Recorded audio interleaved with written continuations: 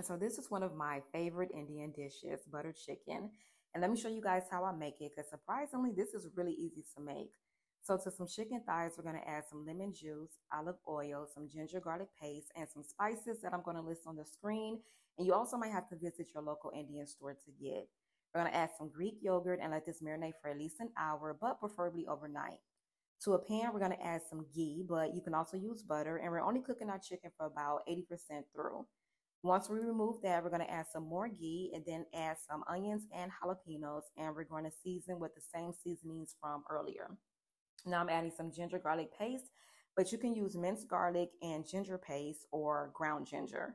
Adding two bay leaves and some tomato sauce. And honestly, I only needed half this bottle, but you can also substitute this for a can of diced tomatoes. Add some cashews and some heavy cream for richness, more of the same seasonings, and we're going to blend this into a nice and smooth and creamy.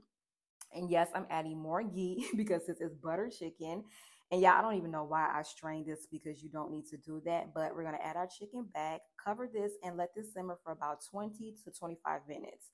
And once it was done, I garnished with um, some more heavy cream, some fenugreek leaves, and cilantro, all optional.